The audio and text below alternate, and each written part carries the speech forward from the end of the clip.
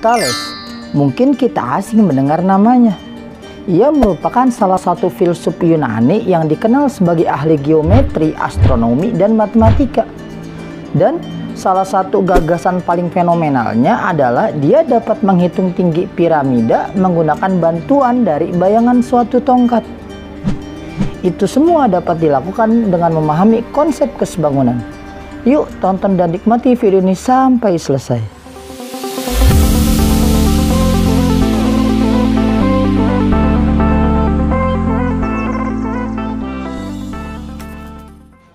Assalamualaikum warahmatullahi wabarakatuh. Nah, bagaimana kabarnya? Semoga selalu sehat dan tetap semangat. Nah, pada kesempatan kali ini kita masih akan membahas materi kelas 9 yaitu tentang kesebangunan dan kekongruenan. Nah, kita masih fokus tentang kesebangunan segitiga. Nah, pada video sebelumnya kita sudah membahas juga nih tentang kesebangunan segitiga yang bentuk segitiganya seperti ini. Yang persamaannya berarti AB per AD sama dengan BC per DE sama dengan AC per AE. Nah, jangan sampai lupa ya yang belum nonton video sebelumnya tentang kesebangunan segitiga yang seperti ini bisa ditonton dulu ya, linknya ada di atas. Nah, sebelum kita lanjut lagi membahas tentang kesebangunan segitiga yang lainnya, yang belum sholat jangan lupa sholat dulu. Kalau sudah sholat langsung saja subscribe, like, komen, dan share, oke? Okay? Nah, kesebangunan segitiga berikutnya yang gambar segitiganya nanti seperti ini. Nah, misalkan ini kita kasih huruf A, B, C, D, dan E dengan sisi panjang AB dan panjang CD ini saling sejajar. Nah, sekarang coba kita perhatikan. Nah, garis AB dan garis CD kan tadi sejajar. Nah, kemudian misalkan nanti garis AB dan garis CD ini dipotong oleh satu garis yaitu garis AD yang ini. Nah, sekarang misalkan sudut D-nya ini X. Nah, kira-kira sudut mana yang sama kayak sudut D? Iya, sudut A ya, dia sudut A juga pasti X. Ingat ya sifat-sifat sudut ya, ini namanya sifat sudut. Iya, dalam berseberangan waktu materi kelas 7. Jadi, kalau sudut D-nya ini X, sudut A-nya juga pasti X. Atau sekarang lagi kita perhatikan lagi tadi sama, kita masih garis AB dan garis CD sejajar, kemudian dipotong oleh garis CB nanti seperti ini. Nah, sekarang kalau sudut C-nya ini Y, sudut Y, misalkan kira-kira mana lagi yang besarnya sama dengan sudut C atau yang besarnya Y?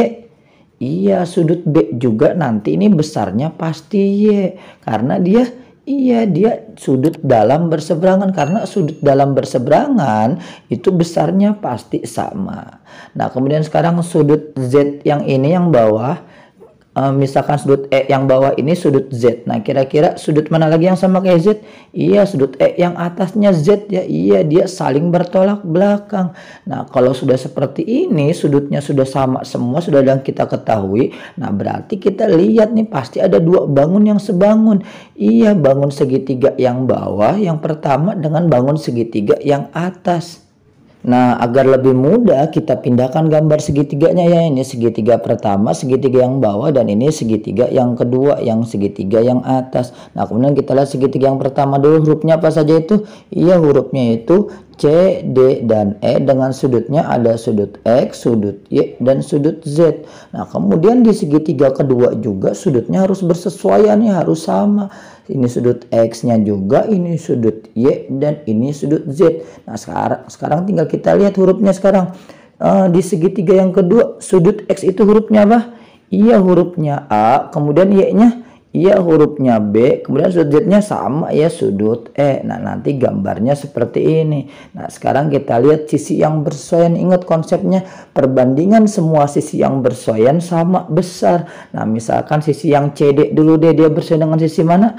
Iya dengan sisi BA atau sisi AB yang ini berarti nanti CD per AB. Kemudian sisi yang kedua misalkan sisi DE bersesuaian dengan sisi mana? Iya dengan sisi AE ya berarti sama dengan DE per AE. Kemudian yang terakhir sisi yang mana? Iya sisi CE yang ini ya bersesuaian dengan sisi mana? Iya bersesuaian dengan sisi BE yang ini berarti sama dengan CE per BE. Nah ini perbandingan sisi-sisi segitiga yang kita peroleh. Oke yang nanti akan kita gunakan dalam mengerjakan soal. Nah, agar kalian lebih paham penggunaannya, kita langsung ke contoh deh. Misal soal pertama, perhatikan gambar berikut. Nah, jadi nanti ada gambar seperti ini. Dengan sisi ini dan sisi ini dia saling sejajar. Nah, kemudian yang ditanya adalah berapa panjang ST dan panjang PT. Nah, kira-kira kalau ada soal kayak gini, gimana cara mengerjakannya yuk? Nah, ingat ya cara mengerjakan soal sebangunan agar lebih mudah gambar bangun datar yang sebangun kita pisahkan. Nah, ini ada dua segitiga yang sebangun, segitiga pertama dan kedua kita pisahkan. Nah, ini segitiga pertama dan ini segitiga kedua. Kemudian kita tulis huruf segitiga pertama dulu hurufnya apa saja itu? Iya, PST. Nah, ingat ya sudutnya sebagai patokan. Nah, kita cari sudutnya dulu. Kita tulis ya sudutnya dulu ya sudut misalkan ini sudut X, Y dan Z. Nah, berarti ini juga sudut X, Y dan Z. Nah, sekarang kita perhatikan sudut Z yang bawah ini. Nah, dia samanya sama sudut yang mana? Iya, sama sudut Z yang atas. Berarti hurufnya sama-sama P ya. Berarti ini juga huruf P karena sudutnya Z. Kemudian segitiga yang mana lagi? Misalkan sekarang sudut X yang ini kita perhatikan. Nah, sudut X yang ini samanya dengan sudut X yang mana? Sudut yang mana? Iya, sudut R yang ini ya. R juga X ya. Berarti segitiga ini juga hurufnya R karena dia sudutnya X. Kemudian sudut Y yang ini dia sama sudut yang mana? Iya sudut Q yang ini ya sudut Q yang ini dia besarnya Y. Berarti yang ini juga kita taruh deh sudut Q karena besarnya dia Y. Setelah itu tinggal kita tulis deh yang diketahuinya apa saja. Iya panjang SP 9 cm kemudian panjang PR 6 cm panjang RQ 8 cm panjang PQ 4 cm Nah, kemudian selanjutnya yang ditanya panjang sisi ST dan PT berapa? Sisi ST yang ini, sisi PT yang ini. Ya sudah deh kita pertama coba cari deh panjang ST dulu berapa ya. Nah, tinggal kita lihat deh panjang ST misalkan yang ini kita kasih lambang A. Tinggal kita lihat mana sisi-sisi yang berseannya. Mana sisi yang bersean yang sudah lengkap mana? Iya 9 dan 6 dia sudah lengkap ya. Dua-duanya sudah ada. Tinggal kita tulis deh. 9 per 6 sama dengan kemudian tadi yang ditanya apa? Iya A bersaing dengan mana?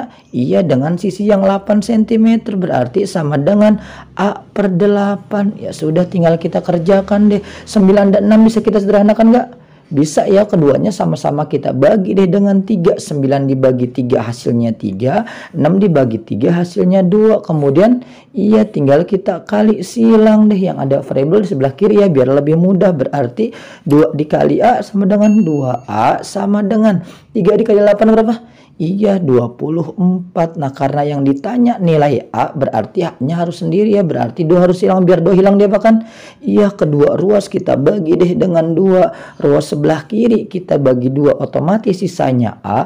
Ruas sebelah kanan 24 dibagi dua berapa? Iya 12 Nah berarti kita dapat deh panjang ST yang ini 12 cm Oke? okay? Nah, kemudian yang selanjutnya yang ditanya berapa panjang PT ya. Nah, misalkan panjang PT yang ini kita kasih lambang B deh. Nah, misal kita B.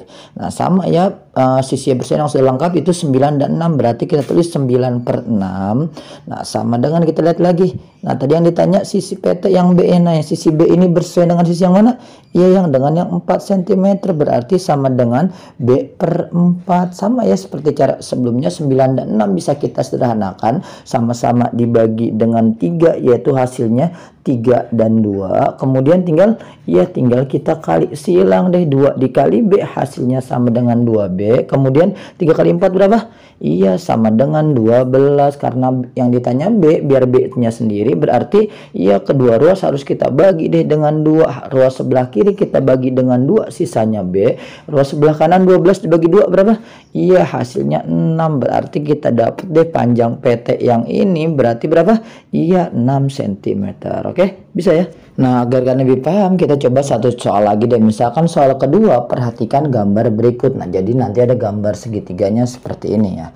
Nah, ya pertanyaannya, tentukan panjang sisi DE dan sisi CE. Nah, kira-kira kalau kayak gini gimana? Nah, prinsipnya sama ya, gambar dua segitiga yang sebangunnya kita pisahkan dulu. Ada segitiga besar dan segitiga kecil.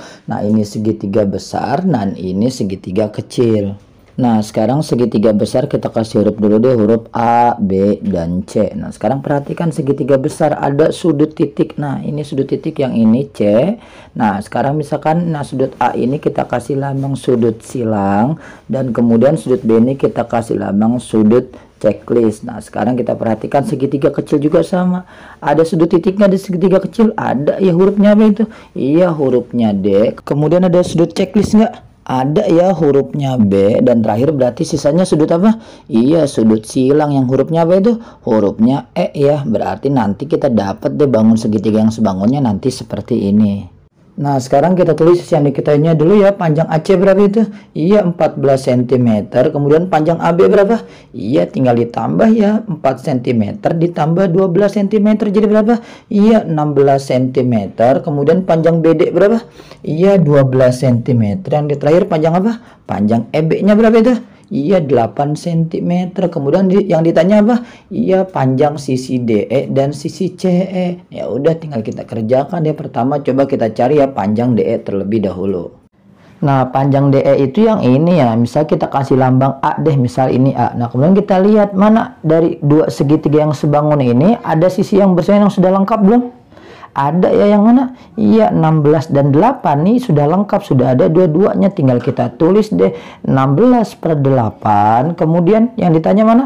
Sisi A ini ya dia bersama dengan sisi mana? Iya dengan sisi yang 14 Berarti kita tulis ya hati-hati nulisnya Karena tadi nulis 16 dulu Berarti berikutnya kita tulis yang 14 dulu ya Berarti sama dengan 14 per A Nah sama ya Ada yang bisa sederhanakan nggak? Ada ya 16 dan 8 bisa kita sederhanakan ya dibagi berapa? Iya dibagi 8. 16 dibagi 8 berapa? Iya 2. 8 dibagi 8? Iya 1. Kemudian tinggal kita apa kan? Tinggal kita kali silang deh yang ada variabel sebelah kiri ya berarti 2 dikali A sama dengan 2A. Kemudian Iya 1 kali 14 Iya 14 Nah biar A nya sendiri duanya harus hilang. Biar dua hilang kedua ruas kita apa kan? Kita bagi deh dengan dua Ruas sebelah kiri dibagi dengan dua Sisanya A Ruas sebelah kanan sisanya Iya 14 bagi 2 berapa? Iya 7 nah, dap, Jadi kita dapat deh panjang DE yang ini sama dengan 7 cm Oke? Bisa ya Nah, kemudian berikutnya yang ditanyakan berapa panjang CE-nya. Panjang CE yang ini ya. Nah, sebenarnya panjang CE itu tinggal gimana?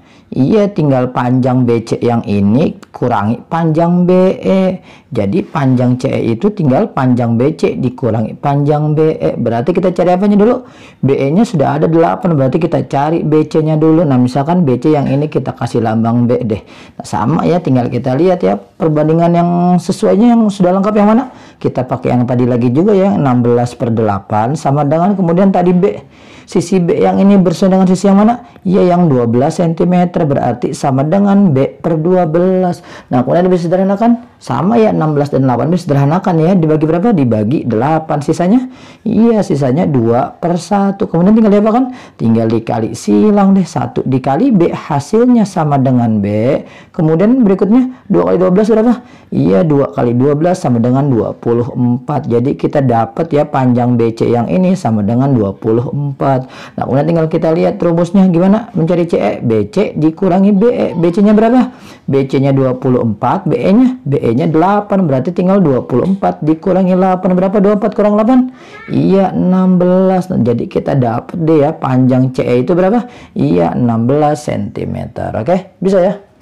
Oke, mungkin sekian dari saya. Kurang lebihnya mohon maaf. Terima kasih segala perhatian. Mohon maaf atas segala kekurangan. Kalau ada pertanyaan, saya kolom komentar ya. Untuk video berikutnya masih tentang bangunan. Linknya ada di atas. Sampai jumpa pada video berikutnya. Salam matematika.